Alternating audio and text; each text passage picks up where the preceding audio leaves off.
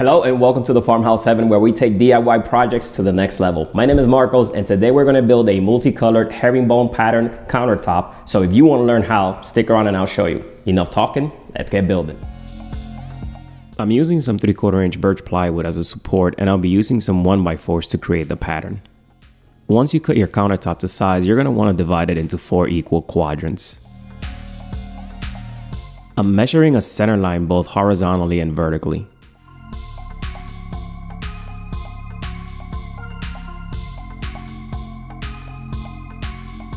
Next, I take a 1x4 to the miter table and cut a 45 degree miter.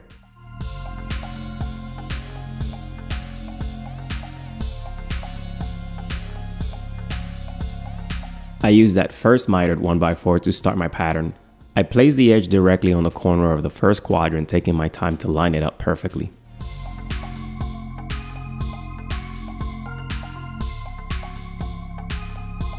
Then I scribe a line from the bottom towards the outer edge. This lets me know exactly how much I need to cut off. Then I go back to the miter table and cut just outside the line I previously marked. I'll make sure to leave about an eighth of an inch in excess material and then come back to trim it later with my router. I trace the first 1x4 on the quadrant, then move back to the miter table to cut the next piece to size. At the miter table, I use the previously mitered piece to trace and cut the remaining boards I need. I went back and forth from the miter table to the countertop, placing each piece where I wanted, marking, cutting, and finally labeling each piece of the quadrant.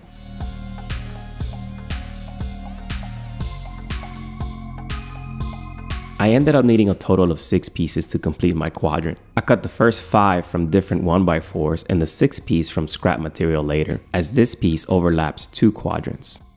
I take the time to dry fit everything in place and ensure my measurements are accurate. I also mark each board so I know exactly where it goes. Oh yeah, remember to check out our Facebook and Instagram page after viewing this video for some other cool DIY project ideas. Feel free to like and follow us too.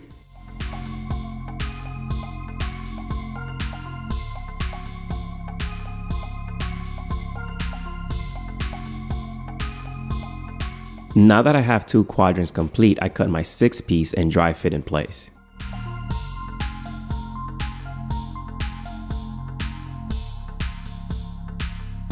Then I do some light sanding with 220 grit.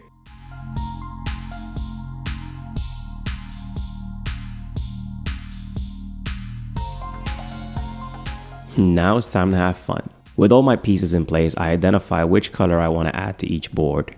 There's really no magic here, just take your time and plan your design properly. I added color to some of the boards first, then I started staining each board individually.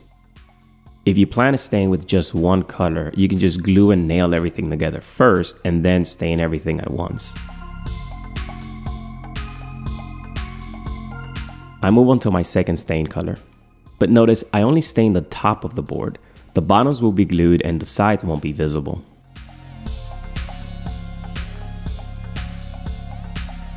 Now it's time for glue up. I take a straight edge or a spacer and clamp it directly in the vertical center line. Then I start aligning my boards along each quadrant. Just make sure to take your time and align everything properly to minimize gaps. Plenty of wood glue and some inch and a quarter brad nails are sufficient to hold them in place.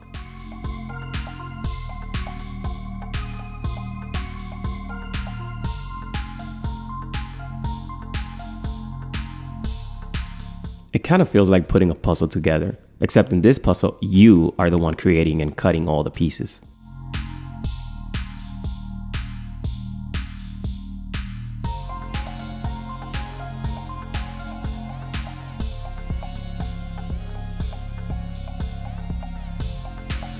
I take some painter's tape and add it along the edge of the countertop.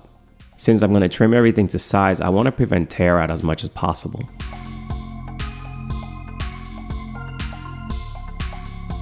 Since the bottom side of my countertop has the flattest board available, I flip it upside down on this workbench and grab a reverse flush trimmed router bit from my palm router. Then I go to town. I take light passes across the board to prevent tearouts. This can easily set you back a few days if you have to start from scratch all over again.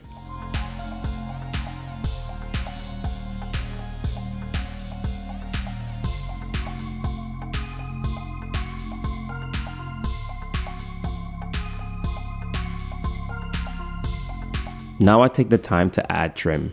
I had previously rough cut these, but now I'm measuring to cut them the size. Now it's a matter of adding wood glue, using my specialty glue spreader, and adding a few brad nails to hold everything in place.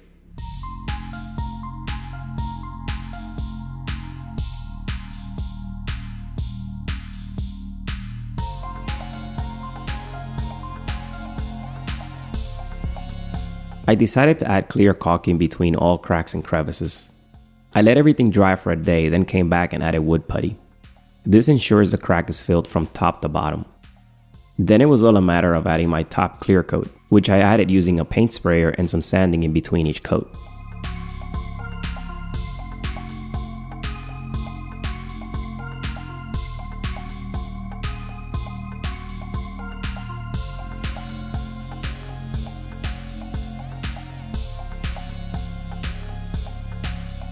Let me know your thoughts in the comments below.